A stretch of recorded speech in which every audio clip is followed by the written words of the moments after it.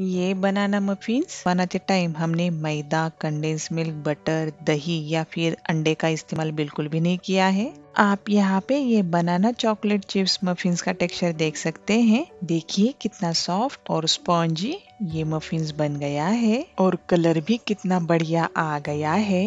देखिए ये मफिन्स को अंदर से भी कितना बढ़िया जालीदार टेक्सचर आ गया है। इसलिए बनाने के लिए आसान लेकिन खाने के लिए बहुत ही बढ़िया ऐसे ये बनाना मफिन्स आप ज़रूर ट्राई करके देखिए। और अगर आपने अश्विन किचन को अभी तक सब्सक्राइब नहीं किया है तो ज़रूर सब्सक्राइब कीजिए लाइक कीजिए शेयर कीजिए और हाँ बेल आइकॉन को प्रेस करना मत भूलिए।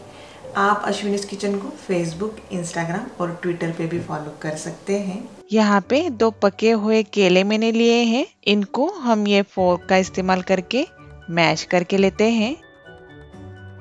ये देखिए, हमने इन केलों को अच्छे से मैश करके लिया है। अब इसमें ये हाफ़ कप शक्कर हम डाल देते हैं। अब इसमें जाएगा ये तीन चम्मच ऑयल। यहाँ पे ये मैंने सनफ्लावर ऑयल लिया है। यहाँ पे ये वन फोर्थ स्पून दालचीनी पाउडर डाल देते हैं। अब इन सभी चीज़ों को अच्छे से मिक्स करके लेते हैं।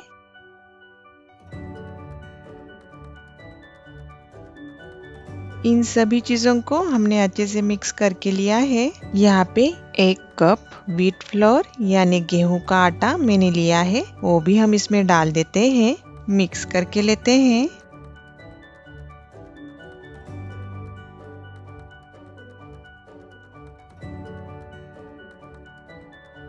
ये मिक्सचर में हमने ये गेहूँ का आटा अच्छे से मिक्स करके लिया है। ये दो चम्मच दूध हम इसमें डाल देते हैं। आप आपके बैटर के आवश्यकता के अनुसार एक आध स्पून और दूध इसमें डाल सकते हैं। मिक्स करके लेते हैं। ये बैटर में हमने ये दूध को अच्छे से मिक्स करके लिया है। ये one fourth spoon baking soda और एक स्पून बेकिंग पाउडर हम इसमें डाल देते हैं। अब वापस ये बैटर को हम अच्छे से मिक्स करके लेते हैं।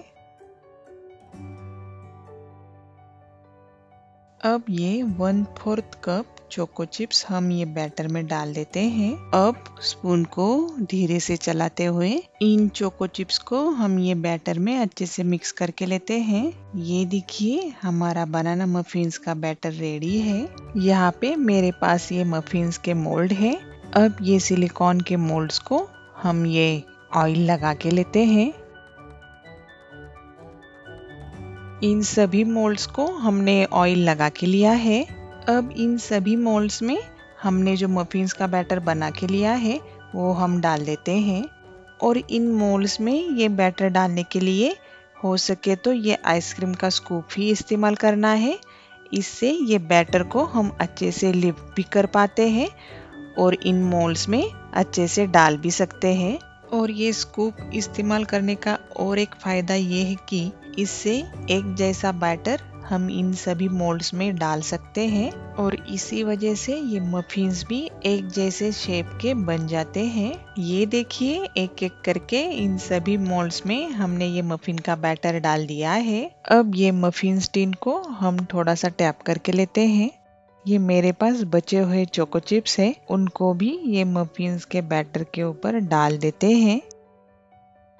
सब मफिन्स के बैटर के ऊपर हमने ये चोको चिप्स डाल दिए हैं और उसी के साथ हमारा ये banana chocolate chips muffins bake होने के लिए रेडी है। ये ओवन को हमने 180 डिग्री सेल्सियस पे पहले ही प्रीहीट करके लिया है। अब इन मोल्ड्स को हम बेक होने के लिए ओवन में रख देते हैं। अब ये ओवन को 180 डिग्री सेल्सियस पे 30 मिनट्स के लिए सेट कर दिया है। 30 मिनट्स हो गए हैं। अब हम देखते हैं। देखिए कितनी बढ़िया ये मफिन्स बेक हो गए हैं। हम उनको बाहर निकालते हैं।